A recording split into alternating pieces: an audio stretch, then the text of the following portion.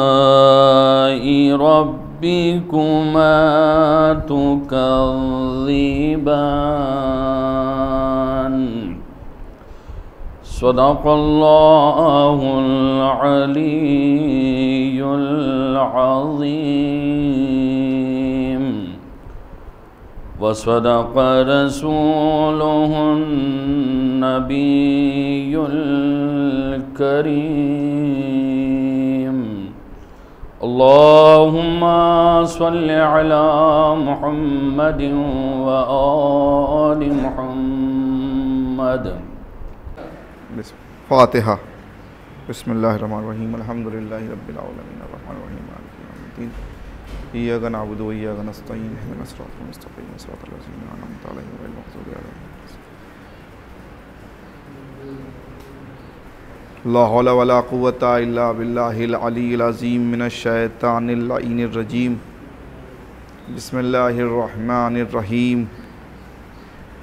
अल्हम्दुलिल्लाहिल्लज़ी हदाना लिहाजा। वमा कुन्ना लिनहतदिया लौला लक़द जाअत रसूल रब्बिना बिलहक़। सलात वसलाम व तहैत वल इकराम अला मन इख्तारहू मिन शजरतिल अम्बिया व मिशकात ज़या वल मिनहाजिल वादी वल किताबिल हादी मलदहू मक्का व हज़रत बतैबा आला बहा ज़िक्रहू behujjatin काफ़या व मोज़तिन शाफ़या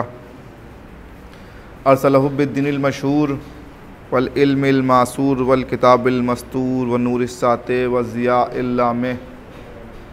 मौलाना मौला सकलैन, नबील हरमैन, महबूब रब्बिल, मशरक़ैन वल मग़रबैन, साहिब काबा कौसैन, जद्दिल हसन वल हुसैन, अबिल क़ासिमल महमद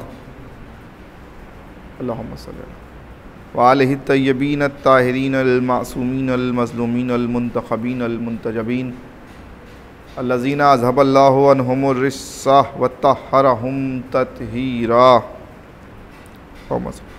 अम्माबाद फ़क़त क़ाल हक़ सुबहानहू तबारक व तआला फ़ी महकम किताबिल करीम वहुआ ज़क़ुस्सादिक़ीन मक़ौलहुल हक़ बिस्मिल्लाहिर रहमानिर रहीम इन्न दीना इस्लाम। इससे पहले कि इस आय वाफ़ी हिदाया के जैल में आपके सामने कुछ आरज़ पेश किए जाएँ, आप हजरात से गुजारिश है कि एक मरतबा सूर फ़ातिहा और तीन मरतबा सूर अखलास की तलात फरमा के मरहुमा इतरत फ़ातिमा बिनते सैयद हबीब जाफ़र नकवी साहब, मरहुमा इफ़त फ़ातिमा बिनते सैयद हबीब जाफ़र नकवी साहब की रूह पुरफतू को फरमा दें बसमीम अलहमदिल्ला अर्रहमानिर्रहीम, मालिक ईदना सिरातलमुस्तकीम अलैहिम गैरिल मग़दूबि अलैहिम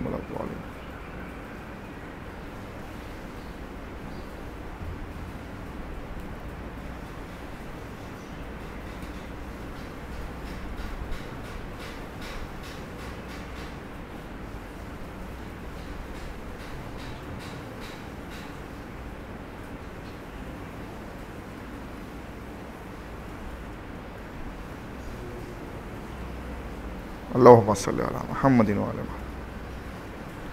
अजीज़ान ग्रामी बुज़ुर्गान मिलत और बरदरान ईमानी, एक मरहुमा के इसाल सवाब की मजलिस, जिसके लिए मैंने सूर्य मुबारक आल इमरान की आयत निशान 19 को सरनामा कलाम के तौर पर आपके सामने तिलावत करने का शरफ़ हासिल किया।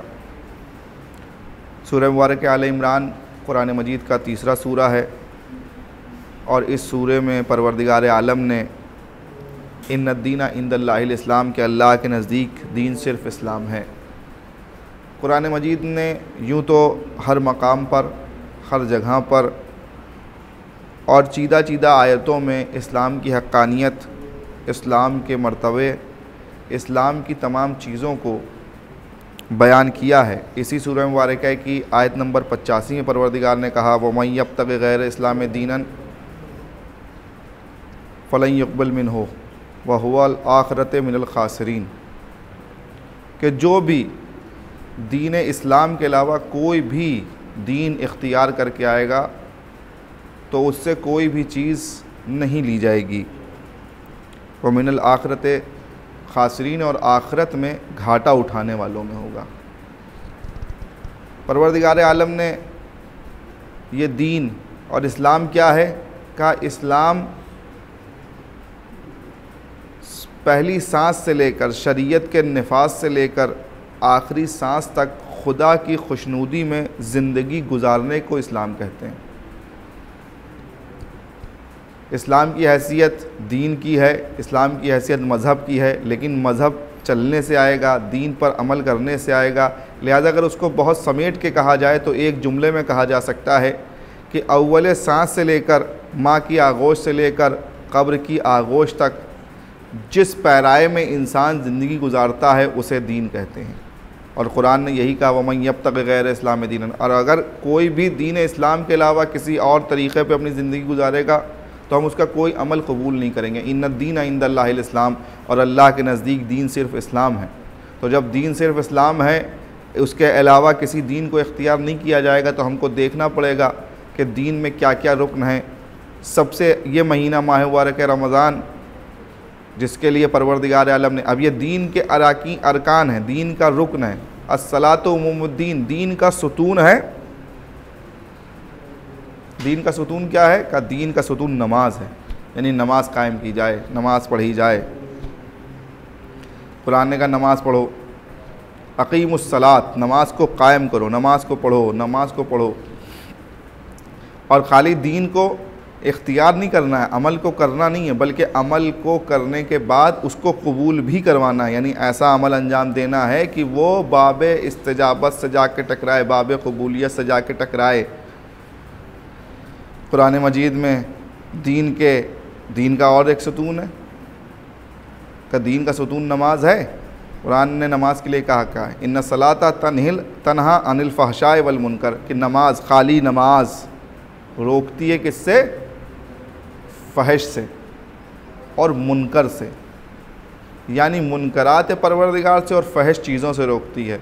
तो अगर नमाज़ पढ़ने के बाद भी फ़हश और मुनकर से नहीं रुक रहा है इंसान तो इसका मतलब वो नमाज़ नहीं पढ़ी कि जो मकसूद परवरदिगार है, जो मतलूब परवरदिगार है, जिसमें, जिसके लिए कहा गया है, सलात तो मेराजुलमोमिन यानी मेराज की मंजिलों तक नमाज़ नहीं जा रही है, नमाज़ कहीं रुक रही है तो फिर अखलास अमल पैदा करना ज़रूरी है।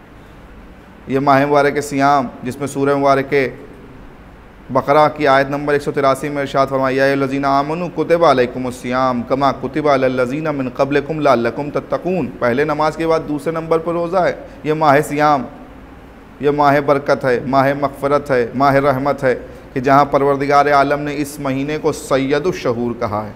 यानी इसकी नम, इसकी रातें और रातों से अफजल हैं। इसके दिन और रातों से अफजल हैं।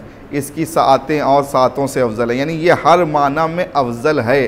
तो जब परवरदिगार का बनाया हुआ महीना अफजल है तो परवरदिगार के बनाए हुए रहनुमा और परवरदिगार के बनाए हुए आदिल इमाम कैसे बेहतर नहीं हो सकते? आज दुनिया हमसे पूछती है कि आप इनको बेहतर कैसे मानते? भाई, परवरदिगार का मनाया हुआ महीना, इसको कहते हैं सैदुलशहूर जो सैदुलशहूर हो, वो हर महीने से अफजल है।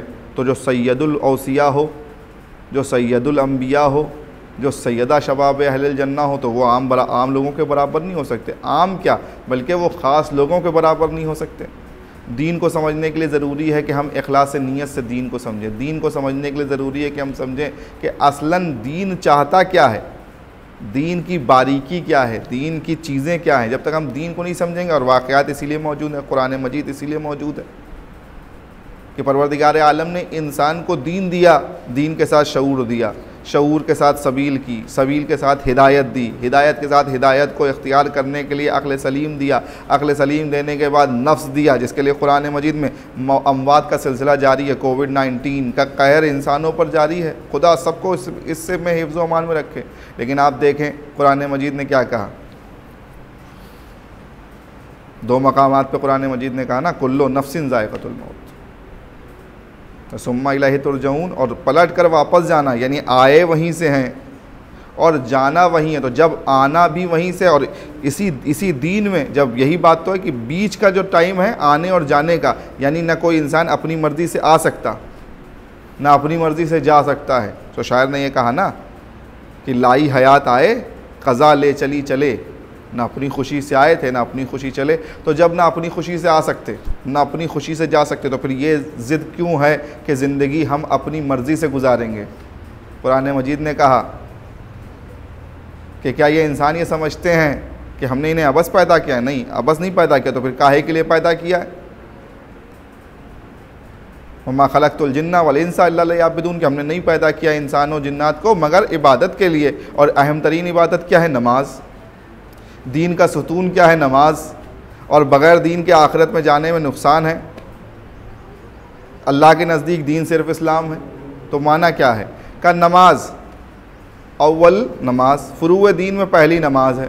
तो जब फ़ुरू दीन में पहली नमाज़ है तो इसका मतलब नमाज़ की अहमियत बहुत ज़्यादा है। तो अब नमाज़ पढ़ने का क्या माना है? नमाज़ पढ़ी जाए तो उन्हीं अरकान के साथ पढ़ी जाए। अब कुरान मजीद में हम देखें नमाज़, और वो नमाज़ पढ़ी जाए जो कबूल हो, यानी नमाज़ पढ़ना कमाल नहीं है, बल्कि कबूलियत वाली नमाज़ पढ़ना कमाल है। अब आइए देखें नमाज़, और कुरान मजीद ने क्या कहा है? कि तुम्हारे लिए लक़द, हमने तुम्हारे लिए बेहतरीन नमूने अमल क्या बनाया रसूल को बेहतरीन नमूने अमल बनाया यानी नमाज़ वो हो कि जो रसूल की तरह की नमाज़ हो। हमने नमाज़ पढ़ना शुरू की। नमाज़ पढ़ी, नीयत बांधी। अब नमाज़ में अल्लाह अकबर भी कहा। नमाज़ में अल्लाह अकबर कहते हैं, अल्लाह के माने क्या हैं? लगत में उठा के देखिए। लगत में कहा गया कि जो तमाम कमालों का मालिक हो, उसे अल्लाह कहते हैं। यानी जो बेऐब हो, उसको अल्लाह कहते हैं। अल्हम्दुलिल्लाह रब्बिल आलमीन, तमाम तारीफ़ें उस परवरदिगार के लिए जो आलमीन का रब है। यानी तमाम सिफतें खुदा के पास हैं। यानी परवरदिगार ने बता दिया कुरान मजीद में कि देखो, जब तारीफ़ करना तो बेऐब की करना, किसी ऐबदार की तारीफ़ ना करना। लिहाजा तकबीरतुलहराम से सलाम तक। अल्लाह की सिर्फ़ और सिर्फ़ बुज़ुर्गी का अल्लाह अकबर के क्या माने? हैं आज तक कोई बता ना पाएगा अल्लाह अकबर के मानी क्या है। लेकिन हमारे मासूम ने बताया क्या इस नमाज़ में ही अल्लाह अकबर के मानी पोशीदा हैं कि जहाँ तकबीर में अल्लाह अकबर का फिर सूरत कि फिर सुबहान रब्बिलज़ीम व हमदे का फिर कहा अल्लाह अकबर। यानी अल्लाह की तारीफ़ की, लेकिन अभी भी परवरदिगार क्या है हमें मालूम नहीं। नमाज़ पढ़ी हमने। कुरान मजीद में क्या कहा सूर्य मुबारक आल इमरान की आयत निशानी इकतीस में कुल इनकुन तुम तो ही बुन अल्लाह फ़तब कि अगर तुम अल्लाह से मोहब्बत का दावा रखते हो तो इतबा मोहम्मद करो, यानी नमाज़ पढ़नी है तो मोहम्मद के जैसी पढ़ी जाए। नमाज़ पढ़नी है जो जो नमाज़ है, और नमाज़ के लिए क्या कबूलियत कैसे होगी नमाज़ में? नमाज़ में कबूलियत कैसे होगी? इमाम शाफई ने कहा कि अहल बैत मोहम्मद आपके लिए, आपकी अजमत में यही क्या कम है? कि आपकी मोहब्बत को फ़र्ज़ किया गया और कुरान में नाजिल किया गया, यानी कुरान में ज़िक्र किया गया आपकी मोहब्बत की, फ़र्जियत की। जहाँ कहा गया, कुल्ला असलकुम अजरन इल्लमवदता फ़िलक़ुरबा यानी आपकी मोहब्बत को फ़र्ज़ किया गया है और कुरान में नाजिल किया गया। अब आज दुनिया समझे कि जब इमाम की समझ में आ गया शाफई जैसे इमाम की जब समझ में आया तो इमाम बने। आज मुसलमान इस पर नाला है कि नहीं साहब? अहल बैत की फजीलत। उसके बाद कहा कि अगर आप पर कोई दरूद न पढ़े तो ला सलात लहू, उसकी नमाज़ नमाज़ नहीं होती। यानी दारो मदार नमाज़, इस्लाम का दीन का सुतून नमाज़ है। और नमाज़ किस पर कायम है? अगर नमाज़ को कबूल करवाना है तो ला सलात लहू, उसकी नमाज़ ही नहीं हुई। यानी दारो मदार सलात का इस्तजाबत, यानी सलात के क़ुरबत की नीयत अगर है और उसको कबूल करवाना है तो मोहम्मद आल मोहम्मद पर सलवात भेजना पड़ेगा। सलवात मोहम्मद आल मोहम्मद पर जब भेजेंगे तो नमाज़ कबूलियत के दर्जे में आएगी, कबूलियत के दर्जे में आएगी। अब आप समझे, अब नमाज़ पढ़नी है, यानी सबसे पहला रुकन क्या है? हमने तकबीर कही, हमने अकामत कही तकबीरतुलहराम की, किरत की, रुकू किया, सजूद किया, कऊद किया और सलवात भेजी आल मोहम्मद पर तो ये इंपॉर्टेंट है। लेकिन पढ़नी कैसे? रसूल ने जैसे पढ़ी तो अब हमें कैसे पता चला कि रसूल ने कैसे नमाज़ पढ़ी? हम तो रसूल के दौर में हैं नहीं। तारीख़ों में हर हर फ़िरका यही कह रहा है कि हम वैसे ही नमाज़ पढ़ते जैसे ही रसूल पढ़ते थे, हमें इख्तलाफ भी नहीं है। लेकिन हम तो तारीख़ी हक़ायक़ में देखेंगे, तारीख़ी चीज़ों में देखेंगे कि किसने नमाज़ कैसे पढ़ी और कैसे नमाज़ पढ़ी जानी चाहिए। ये दीन, क्योंकि ये महीना महीना माह मुबारक है, रमज़ान है, लिहाजा नमाज़ की कसरतें हैं, इबादत की कसरतें, आज सत्ताईस, माह मुबारक की सत्ताईस तारीख़ है, आज शब सत्ताईस में आज के, आज की बहुत सारी फजीलतें बयान की गई हैं। यानी रमज़ान की फ़जीलत, इस्लाम की फ़जीलत, नमाज़ की फ़जीलत, रोज़े की फ़जीलत, ये तमाम फजीलतें अपनी जगह हैं लेकिन अगर अहल बैत पर सलवात ना भेजी जाए तो दीन का सुतून बाकी नहीं रहता। यानी अब आप अंदाज़ा करें कि जब अहल बैत पर सलवात के बग़ैर दीन का सुतून बाकी नहीं रहता तो अगर अहल बैत को न माना जाए तो ईमान का घरौंदा कहाँ बाकी रहेगा? यानी अहल बैत को मानना ज़रूरी है। और इन्हीं इमाम शाफी ने कहा आलो नबी ज़रियती, हम रहे वसीलती, अर्जू बही मूता कदन बैदिल यमीन सही पति अहल बैत मोहम्मद, मैं आपको अपना वसीला बनाता हूँ। काहे के लिए वसीला बना रहे? क्यों वसीला बना रहे? अर्जू बही मूता गदन ताकि क़यामत के दिन, जजमेंट के दिन, जस्टिस के दिन बेयदिल यमीन सही पति ताकि मेरा सहीफ़ अमाल मेरे दाहिने हाथ पे रखा जाए, यानी मैं जन्नती हो जाऊँ। मुझे महशर का खौफ ना हो। अब आपने अंदाज़ा किया कि अहल बैत की मोहब्बत कितनी इंपॉर्टेंट है, अहल बैत की मोहब्बत कितनी ज़रूरी है। दीन को अगर ज़रूरत है तो सिर्फ़ और सिर्फ़ अहल बैत मोहम्मद की। अगर किसी ने दीन से अहल बैत मोहम्मद को हटा दिया, माइनस अहल बैत मोहम्मद अहल बैत मोहब्बत मोहब्बत अहल बैत को माइनस कर दिया दीन से तो फिर दीन बाकी नहीं रहेगा। दीन का मौका बाकी नहीं रहेगा, दीन की समझ बाकी नहीं रहेगी। क्यों? क्योंकि अगर दीन को समझना है, दीन को असल दीन को समझना है, इस्लाम को समझना और वो इस्लाम जो इन्न दीन आइंद इस्लाम की हक्कानियत रखता है, क्यों? क्योंकि ये दीन अल्लाह का है। ये वही दीन है जो तोहहीद पर मबनी दीन है। इस्लाम तोहद पर मबनी दीन है। और अगर तोहद को समझना है तो अहल बैत की तरफ़ पे आना पड़ेगा। अहल कुरान को समझना है तो अहल बैत की दर पे आना पड़ेगा। दीन को समझना है तो अहल बैत की दर पे आना पड़ेगा। इस्लाम को समझना है तो अहल बैत की दर पे आना पड़ेगा। ईमान को समझना है तो अहल बैत की दर पे आना पड़ेगा। तकवे को समझना है तो अहल बैत की दर पे आना पड़ेगा। हज को समझना है तो अहल बैत की दर पे आना पड़ेगा। यानी तमाम अरकान इस्लाम को अगर समझना है तो अहल बैत के दर पे आना पड़ेगा। इसीलिए तो बात कही गई थी कि अली माल कुरान वल कुरान मा अली, कि अली कुरान के साथ है, कुरान अली के साथ है। अली माल हक, वल हक मा अली अली हक के साथ है और हक अली के साथ है। यानी दीन अगर हक है तो फिर वो अली के साथ वाला दीन होगा। इसीलिए मैंने नमाज़ से बात शुरू की थी कि अव्वल क्या है? असलात मुद्दीन नमाज़ दीन का सतून है। अब नमाज़ कौन सी पढ़नी है? रसूल वाली नमाज़। अपनी मर्ज़ी की नमाज़ नहीं पढ़नी हमको। हमको नमाज़ पढ़नी है रसूल वाली, कि हम समझें कि रसूल ने नमाज़ कैसे पढ़ी, हमें नहीं मालूम। आज हमारे सामने जो फ़िरक़े मौजूद हैं, जो लोग मौजूद हैं, वो कहते हैं कि साहब, हमने तो हम तो वही नमाज़ पढ़ते हैं कि जो रसूल अल्लाह पढ़ा करते थे। हम क्या कह सकते हैं किसी को? किसी को कहने का हक़ नहीं है हमें। लेकिन हम तो तारीख़ी हक़ायक़ में देखेंगे कि सन छत्तीस में हुई जंग बसरा। बसरे की मस्जिद में अली ने पढ़ाई नमाज़ जहर और उस वक़्त को बार सहाबा, अकाबिर साहबा मौजूद थे और एक सहाबी वो थे जो नाबीना थे।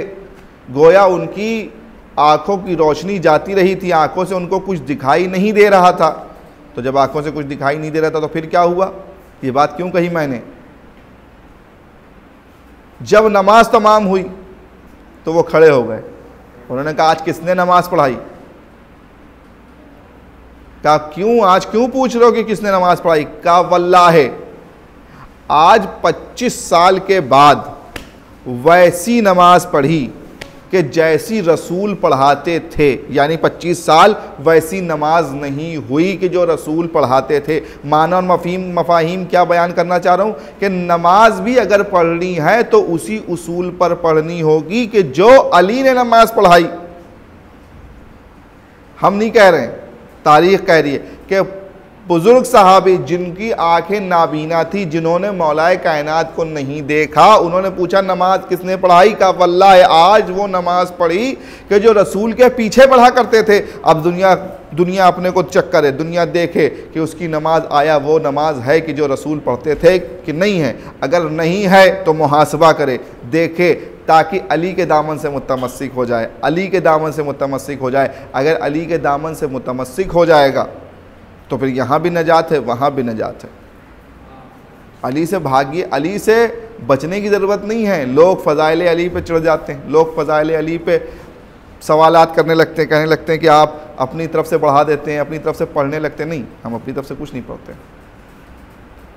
क्यों? क्योंकि दीन का, दीन की जो उमूद है, दीन का जो सुतून है, दीन का जो बेस है, और इमाम ने फरमाया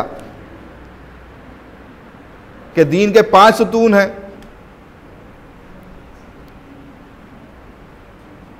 सलात रोज़ा, हज, ज़क़़त और विलायत।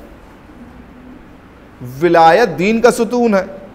अगर विलायत अमीर को नहीं माना, यानी अगर विलायत अमीर को एक्सेप्ट नहीं किया आपने तो फिर दीन बाकी नहीं रहेगा। लोगों, एक शख्स आया इमाम के पास, इमाम से कहने लगा अच्छा इसमें सबसे अफजल कौन है? नमाज़ का नहीं। फिर खुद ही कहने लगा अच्छा अच्छा रोज़ा का नहीं। फिर कहने लगा अच्छा अच्छा.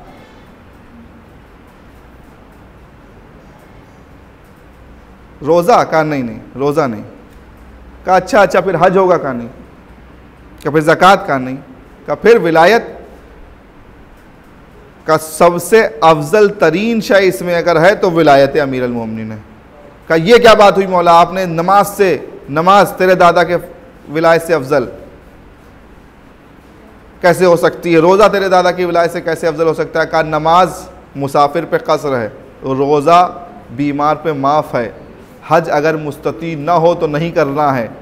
ज़क़़त अगर पैसे ही ना हो तो ना देना है। लेकिन मेरे दादा अली की विलायत अमीर पर भी वाजिब, गरीब पे भी वाजिब, बच्चे पे भी वाजिब, बूढ़े पे भी वाजिब। यानी मेरे दादा की विलायत पैदा होते साथ ही वाजिब हो जाती है।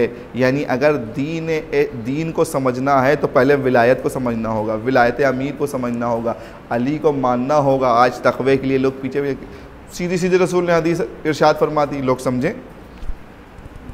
आज लोग नाराज़ हो जाते कहते हैं, मौलाए कायनात के फ़जाइल इतने बयान करते हैं, आप इतने बयान करते हैं, हद से बढ़ा देते हैं, किसी और के फ़जा नहीं, और के फ़जाइल हम क्या बयान कर सकते हैं? रसूल ने खुद कहा है जैनो मजाल सुकम ज़िक्र अली तो दीन के बानी ने, हालाँकि इस पर भी एतराज़ है, लोग कहते हैं दीन का बानी नहीं है रसूल। पैगंबर इस्लाम है, मुजिद नहीं है रसूल। दीन तो खुदा का बनाया हुआ है, पहुँचाने वाले रसूल। वमा अलैना इल्लल और आपका काम सिर्फ़ पहुँचा देना है। पहुँचा दीजिए आप। हमको विलायत को समझना है, इस्लाम को समझना है, दीन को समझना है। अफा अगर हमने दीन को समझना है तो हमें अहल बैत के दर पे आना पड़ेगा। अहल बैत के दर पर आकर हमें दीन को समझना पड़ेगा, दीन को इख्तियार करना पड़ेगा। यानी जब नमाज़ बग़ैर अली के नहीं समझ में आती, रोज़ा बग़ैर अली के समझ में नहीं आता, ये महीना मौलाए कायनात से मखसूस तौर पर मनसूब है। मखसूस तौर पर एक मोमिना की साल सवाब की मजलिस है। का हम कैसे बयान करें? मौलाए कायनात ने जब सिर्फ़ कुरान की, यानी कुरान क्या है? अच्छा कुरान पे भी आ जाइए। कुरान क्या है? दीन, इस्लाम की बात कर रहा हूँ ना मैं, इस्लाम। इन दीना इंद इस्लाम तो जब ये इस्लाम है तो इस्लाम की कॉन्स्टिट्यूशनल बुक का नाम कुरान है। बेसिक चीज़ कुरान है। कुरान पे हर एक का इज्तम है कि भाई कुरान है। इन्ना नहन नज़ल न ज़िक्र व इन्ना लहू हाफिजून कि हमने ज़िक्र को नाजिल किया और हम हम जो है इसका का जाकुम बुरहान में हमने नूर भेज दिया तुम्हारी तरफ़। बुरहान भेज दिया, जैसे कुरान कहते हैं। और नूर मुबीन भेज दिया। यानी अगर हमें समझना है इस्लाम को तो कुरान को तो समझेंगे ना। कुरान का बेसिक है, फ़ला या तदब्बरून कुरान तुम तदब्बर क्यों नहीं करते? फ़ला उनके लिए जो तदब्बर करे कुरान में। मौलाए कायनात की ज़ात, अमीर कायनात की ज़ात, वो ज़ात है कि जिससे कहा कि सलूनी सलूनी कबला अनतफ़दूनी पूछो मुझसे पूछो। जो पूछना चाहते हो जो पूछना चाहते हो। मौलाना ये नहीं कहा कि इस, इसका सवाल ना करना उसका सवाल नहीं जो पूछना चाहते हो। अब लोगों ने बहुत सारे सवाल किए। आप सुनते रहते जाकिरीन से। दीन को समझने के लिए दीन की असास को समझने के लिए अगर दीन को अहल बैत से हट के समझा जाएगा तो फिर दिक्कत आ जाएगी। प्रॉब्लम क्रिएट हो जाएगी। और प्रॉब्लम क्रिएटेड है। क्यों? क्योंकि दीन को मौला ने कहा कि पूछो मुझसे, कुरान के बारे में पूछो, मैं बता सकता हूँ कि कौन सी आयत कहाँ नाजिल हुई, उसका शान नजूल क्या है। खबर इंपॉर्टेंट थोड़ा तो उसका बैकग्राउंडर इंपॉर्टेंट होता है। बैकग्राउंडर जब तक नहीं समझेंगे, आपको खबर समझ में नहीं आएगी। खबर तभी इंपॉर्टेंट होती है जब उसके बैकग्राउंडर से आप वाकिफ़ हों। वरना हर खबर आपके लिए, खबर की तरह एक पीस ऑफ़ वर्ड सेंटेंस है, वो आपके लिए कोई माने नहीं रखता। इमाम जाफ़र सादिक के एक शागिर्द थे, जिन्हें इमाम अबू हनीफ़ा कहा जाता है। बहलोल दाना का वाक़ लिखा हुआ है किताबों में। उन्होंने कहा, मैं जबकि उन्होंने कहा था, जब किसी ने पूछा, आपकी उम्र क्या कहा, दो साल। का क्यों? कहा, दो साल जो इमाम जाफ़र सादिक से तलमुज़ हासिल किया, बस वही मेरी उम्र है, बाकी कुछ नहीं। क्या हुआ? कहा, वो बैठे थे मस्जिद कोफा में और दर्स दे रहे थे। जब दर्स दे रहे थे तो वहाँ पे इमाम के चाहने वाले। उन्होंने कहा, भाई, मैं सब चीज़ें मानता हूँ इमाम की मतलब इमाम जाफ़र सादिक की, लेकिन तीन चीज़ों से इख्तलाफ है मुझे। यानी तीन चीज़ें मेरी समझ में नहीं आती। क्या तीन चीज़ें समझ में नहीं आती? कहा, इंसान अपने अफ़ाल का का उन्होंने कहा खुदा है, लेकिन वो दिखाई नहीं देगा। लेकिन मैं ये नहीं मानता, क्योंकि जो चीज़ है, उसका दिखना ज़रूरी है। का दूसरी चीज़ क्या है? का दूसरी चीज़ ये है कि परवरदिगार अलाकुल्ल शाइन कदीर है, लिहाजा वो हर शय पर कादिर है। और जब वो हर शय पर कादिर है, हर शय पर कादिर है तो जब वो हर शय पर कादिर है तो अगर वो चाहे तो इंसान गुनाह करे, वो चाहे तो इंसान गुनाह ना करे। ये तो खुदा के हाथ में और तीसरा कहा कि उन, उन्होंने कहा कि जहाँ, क़यामत के दिन शैतान को जहन्नम फेंका जाएगा, लेकिन मुझे समझ में नहीं आता क्योंकि शैतान खलक तनी मिन्नार, मुझे आग से पैदा किया है परवरदिगार ने शैतान को। और जब शैतान को आग से पैदा किया गया है तो उसको जहन्नम में डालेंगे तो उसको आग से आग को नुकसान पहुँचा नहीं सकती। मुझे ये समझ में नहीं आता। वहाँ पर इमाम के चाहने वाले जनाब बहलोल दाना बैठे हुए थे। उन्होंने एक पत्थर उठाया और अबू हनीफा के सर पर दे मारा और वहाँ से भाग गए। अब ये साहब नीचे तशरीफ़ ले आए और उसके बाद वो भागे भागे, लेकिन बहरहाल शागिर्दों ने पकड़ के ले आए। और शागिर्दों ने उनको मारना शुरू किया। उन्होंने कहा, भाई, मुझे क्यों मार रहे हो? जिसको मैंने मारा वो आके मुझसे वो करे, कजावत करे या मुझसे फ़ैसला कुन मरहले में बात हो, यानी अदालत लग जाए। तो लोगों ने कहा, ठीक है। गया काजी के पास, वो भी गए काजी के पास। कहा, तुमने मुझे क्यों मारा? कहा, मैंने थोड़े तुम्हें मारा है। कहा, मैंने नहीं मारा। कहा, क्या हो रहा अच्छा मारा तो क्या हुआ? कहा, तुमने काजी ने पूछा, तुमने मारा इसको? कहा मैंने मारा। कहा, पूछिए इससे क्या हुआ मारने से? कहा, तुम अजीब आदमी हो, तुमने पत्थर खींच के मारा, सर में मेरे दर्द हो रहा है। सर में मेरे दर्द हो रहा है? कहा, दर्द हो रहा है तो दिखाओ। कहा, तुम बेवकूफ़ हो क्या? दर्द कोई दिखाने की चीज़ होती है? कहा तुम ही ने तो कहा था कि जो चीज़ होती है, उसका दिखना ज़रूरी है। क़यामत में खुदा दिखाई नहीं देगा। इंसान की नज़रें उसकी रहमत की तरफ़ होंगी, ना कि उसकी तरफ़। यानी अगर अगर अहल बैत ना हो तो कुरान के लफ्ज़ी माने, कुरान के सामने के मानी समझ में नहीं आ सकते। का फिर? का तुमने मुझे क्यों मारा? का मैंने थोड़ा मारा, खुदा ने मारा है तुम्हें? कहा कैसे? कहा तुम ही तो अभी कह रहे थे कि हर अफ़ाल का जिम्मेदार परवरदिगार है। अला कुल्ले शाइन कदीर है। अगर परवरदिगार चाहता तो मुझे रोक लेता मारने से। लेकिन उसने मुझे नहीं रोका तो वो इस बात पर दलील है कि परवरदिगार यही चाहता था कि मैं तुम्हारा तो इसमें मेरी कोई गलती नहीं है। कहा तीसरी चीज़, कहा, तुम्हें क्यों दर्द हो रही है? कहा, तुमने पत्थर मारा। कहा, तुम काहे से बने हो? कहा, मट्टी से? कहा, मैंने किस चीज़ से मारा? कहा, मट्टी से। तो कहा, जब मट्टी से तुम्हें मारा और तुम भी मट्टी से बने हो, तुमने कहा था, हम जिन चीज़ें एक दूसरे को नुकसान नहीं पहुंचाती। तो जब तुम मट्टी से बने हुए हो, ढेला भी मट्टी का था तो तुम्हें फिर दर्द क्यों हो रहा है? इसका माना यह है कि हम जिन चीज़ें भी खुदा अगर चाहे तो नुकसान पहुँचा सकती हैं। तुमने कहा था, जहन्नम शैतान को नहीं जलाएगा, लेकिन देखो, तुम्हारे मट्टी के ढेले मारने से तुम्हारे दर्द होने लगा। तो इसका मतलब यह है, अगर परवरदिगार चाहे तो शैतान आग का बना हुआ है, लेकिन जहन्नम में उसे जला सकता है। यानी ये बेसिक चीज़ें जो दीन की बेसिक है तोहहीद की असास है जिस पर। फ़लसफ़ा जबर इख्तियार को इतनी आसानी से समझा दिया। ये शागिर्द आल मोहम्मद है। तो जब शागिर्द आल मोहम्मद का ये आलम है तो आल मोहम्मद का क्या आलम होगा? अगर दीन सिर्फ़ और सिर्फ़ आल मोहम्मद से समझा जाता, इस्लाम सिर्फ़ और सिर्फ़ आल मोहम्मद से लिया जाता तो दीन में ख़राबी ना पैदा होती। दीन में कोई ख़राबी ना होती, दीन में कोई कमी ना होती, दीन में कोई कजी ना होती। हाँ आज एक मरहुमा के साल साहब की मजलिस से खुदा करवट करवट जन्नत नसीब करे। ये कोविड का दौर, कि जहाँ सिर्फ़ एक ही एक ही सहारा है इंसान के पास, दुनिया ने अपने हाथ खड़े कर दिए। कि we are helpless we have nothing इंसान इस अहद हाजिर में, कि जहाँ इस्लाम की बात हो रही है, दीन की बात हो रही है, इस्लाम इस अहद हाजिर में, इस पूरा शोभ दौर में, इस पुरफतन दौर में इस तबाहकुन दौर में कि जहाँ पर इंसानियत उस मुहाने पर आके खड़ी हो गई कि नफसा नफसी का आलम है। क़यामत के लिए बयान किया गया कि नफसा नफसी का आलम होगा, लेकिन दर हकीकत आज की तारीख में नफसा नफसी का आलम है कि जहाँ लोग अपनों को दफन करने के लिए राज़ी नहीं है। सिर्फ़ और सिर्फ़ एक ही ज़ात है कि जिस पर रजा है, जिस पर मतलूबियत है, जिसकी पुष्ट पनाही है, जिसकी तमाम चीज़ें दी हुई हैं। अगर इंसान उससे लौ लगा ले तो दुनिया माफिया से बिल्कुल उसे कोई डर नहीं रहता। दुनिया उसके सामने हैच हो जाती है। दुनिया का उसे कोई डर नहीं रह जाता। क्यों? क्योंकि जब परवरदिगार मौला इमाम हुसैन ने क्या जुमला इशात फरमाया? अल्लाह अकबर। मौला ने फरमाया तो अल्फ़ा फरमाया, परवरदिगार, जिसने तुझे पा लिया, उसने खोया ही क्या। और जिसने तुझे खो दिया, उसने पाया ही क्या। यानी अगर परवरदिगार से रबता हो गया इंसान का, और इस्लाम है ही इसीलिए, दीन है ही इसीलिए, और दीन इतना इंपॉर्टेंट है, दीन इतना अहम है, कि करबला के मैदान में ये दीन ही ऐसी चीज़ है कि हुसैन ने न दीन से अली अकबर को अफजल समझा, न अब्बास को अफजल समझा। एक मारूमा के इशारे सवाब की मजलिस है।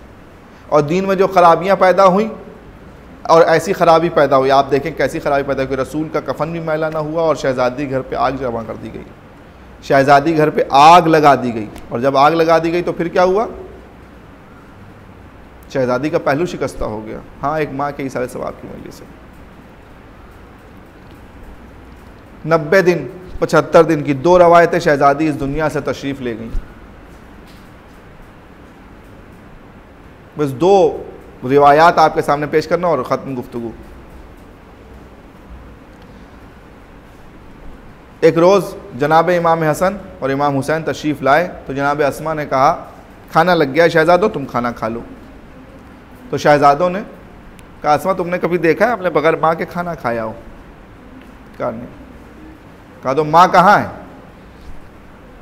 असमा ने कोई जवाब न दिया, उस हुजरे की तरफ़ इशारा कर दिया कि जिस हुजरे में शहज़ादी आराम फरमा थी। दोनों शहज़ादे दौड़ते हुए गए। देखा माँ इस दुनिया में नहीं है। मैं मरहूम की बेटा बेटी से कहूँगा कि जब आपकी माँ इस दुनिया से गई हो तो कब्र पे दफन करने वाले लोग मौजूद होंगे। दफन किया गया होगा, गसल दिया गया होगा, लेकिन अल्लाह अकबर, शहज़ादी और आपको रोने भी दिया गया होगा। लोगों ने तसल्ली भी दी होगी, तशफ़ी भी दी होगी। मजलिस हुसैनी चैनल पर करवा रही हैं। लेकिन अल्लाह अकबर एक जब एक माँ इस दुनिया से गई, जो सैदतुलनसाइल आलमीन थी, अल्लाह अकबर, एक मरदा दौड़ते हुए हुसैन हसन आए और आने के बाद जनाब इमाम से कहा, मौलाए कायनात से कहा, रिवायत के जुमले ये मौलाए कायनात के पास आए, कहा, अम्मा चली गई इस दुनिया से। तो रिवायत कहते अली बेहोश हो गए। अली इस खबर की ताब न लाए कि शहजादी इस दुनिया में न रही। हाँ आज़ादारा ने हुसैन रिवायत लिखती है कि अली कभी उठते थे, कभी बैठते थे। दीवार, मस्जिद की दीवार को पकड़ते हुए एक मरतबा तो शरफ में तशरीफ़ लाए। शहज़ादी की वसीयत के अबुल हसन, आप मुझे रात में गसल दीजिएगा, रात में कफन दीजिएगा और रात में दफन कीजिएगा। रिवायत कहती, जनाजा रखा रहा, रात का वक्त आया। इमाम ने गसल देना शुरू किया। असहाब मौजूद थे, एक मरतबा फादर बदरो होना अली चीख मार के रोने लगा। एक मरतबा सलमान तड़प गए का मौला फ़ातह, बदर हुनैन और खंदक, में आपको देखा, आप इतना कभी न तड़पे, आज क्या बात है? का सलमान गज़ब हो गया, शहज़ादी की तीन बसलियाँ टूट गई, मुझे पता न था। हाँ आज़ादारा ने इमाम, आप अंदाज़ा कर सकते हैं कि एक मरतबा शहज़ादी के बच्चों से क्या कहा गया। आज जब किसी का बाप, किसी की माँ इस दुनिया से जाती है तो चाहने वाले आ जाते महल्ले वाले आ जाते कहते बेटा, रो लो। गले से लगाते लेकिन हसन और हुसैन के लिए अली अली ने फरमाया कि, बेटा, हसन, हुसैन, देखो बावाज़ बुलंद न रोना। बावाज़ बुलंद न रोना। इसलिए कि तुम अगर रोगे तो दुश्मनों को पता चल जाएगा कि शहज़ादी इस दुनिया से चली गई हैं। रिवायत कहती है कि शहज़ादी को कफन दिया गया शहज़ादी को लाकर सहन खाना में रखा गया और तमाम बच्चों से कहा ओ बच्चों, रुख्सत हो लो, लेकिन हुसैन करीब ना आते हैं। एक मरतबा पूछा, अली ने क्या, हुसैन का पापा मेरी माँ अफजल है या मरियम का बेटा? तुम्हारी माँ सैदतुलनसाइल आलमीन अवलिन वल आखरीन है। तुम्हारी माँ मरियम से कहीं अफजल है? तो कहा, मैंने सुना है कि जब मरियम इस दुनिया से गई थी तो ईसा को अपने करीब किया था। मेरी माँ तब तक मैं रुख्सत ना होऊँगा जब तक मेरी माँ मुझे ना बुलाएगी। बस एक मरतबा बंदे कफन टूटे, दो हाथ बरामद हुए। आ मेरे बेटे हुसैन, मेरे गले से लग जा। बस एक मरतबा हुसैन के गले से लगना था। रिवायत कहती है कि एक मरता हुसैन के गले से लगने के बाद क़यामत बर्पा हो गई। जबरील अमीन आए काली फ़ौर हुसैन को हटा लिए, वरना मलाइका में कोहराम बर्पा हो जाएगा। मैं कहूँगा, मौला हुसैन, आपकी माँ जब इस दुनिया से गई तो गसल भी दिया गया, कफन भी दिया गया, तदफीन भी हो गई। लेकिन अल्लाह अकबर, वो माँ क्या करे? वो बेटी क्या करे कि जब रोती थी बाप को याद करके तो तमाचे मारे जाते थे।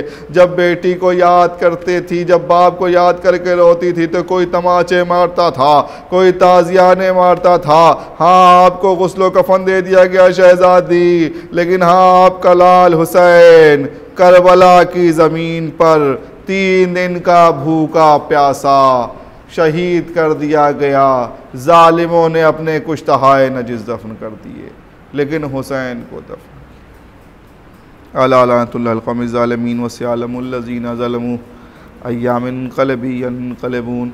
इलाई वक़ जहरा बी हा व बाल हा व बनी हा व सरमस्तफ़ी या परवरदिगार हमारे इस मुख्तसर से ज़िक्र खैर को कबूल फरमा। परदिगार तुझे वास्ता मोहम्मद वाल मोहम्मद का कि मरहुमा को आलाइन में जगह इनायत फरमा। पसमंदगान को सब्र जमील इनायत फरमा। परवरदिगार, हमें आमाल सालिहा करने की तोफ़ी अता फरमा। परवरदिगार, हमें इस माह मुबारक को ज़्यादा ज़्यादा तर्क करने की तोफ़ी अता फरमा। परवरदिगार, हमारे तमाम गुनाहान कबीरा और गुनाहान सग़ीरा को माफ़ फरमा। परवरदिगार, आखिरी दुआ यह अहम तरीन दुआ यह है कि बारहवें सरकार के जहूर में ताजील फरमा और हम सबको उनके अवान अनसार में शुमार फरमा। रबना तकबल मन्ना तस्मीम आप हजरात से एक मरतबा फिर गुजारिश है कि एक मरतबा सूर हमद और तीन मरतबा सूर तोहद की तरह फरमा के। इतरत फ़ातिमा बिनते सैद हबीब जाफ़र नकवी और इफ़त फ़ातिमा बिनते सैयद हबीब जाफ़र नकवी की रूह पुरफतू को इरसाल फरमा दें बसमिल्लर